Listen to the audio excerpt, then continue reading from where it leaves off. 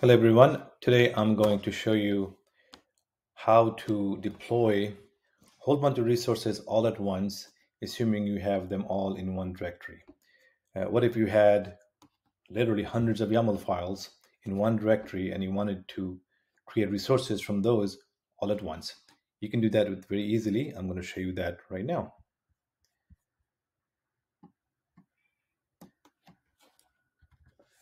I happen to be connected to a cluster in GCP. As you can see, it's a very small cluster with just one node. I have a directory called demo that has several YAML files.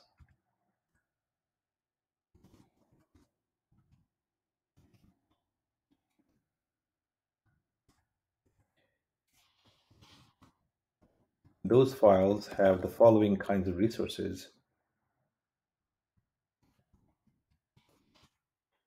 So we have a service account, config map, secret, network, network policy, and pod.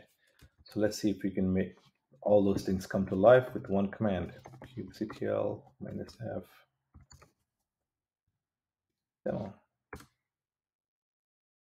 Well, apparently I can't spell.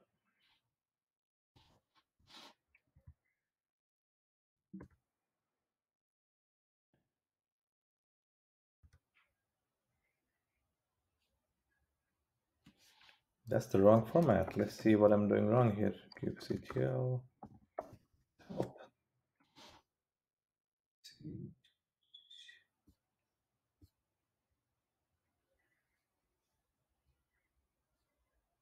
Oh, apply. Apply there. kubectl apply minus f hmm. And look at that, all those resources got created. So now if I do kget pod, I get one pod running. If I get kget uh, secret, I should see a secret, so on and so forth. Hope this was useful to you, and if it was, please like and subscribe, like and subscribe, and I will see you next time.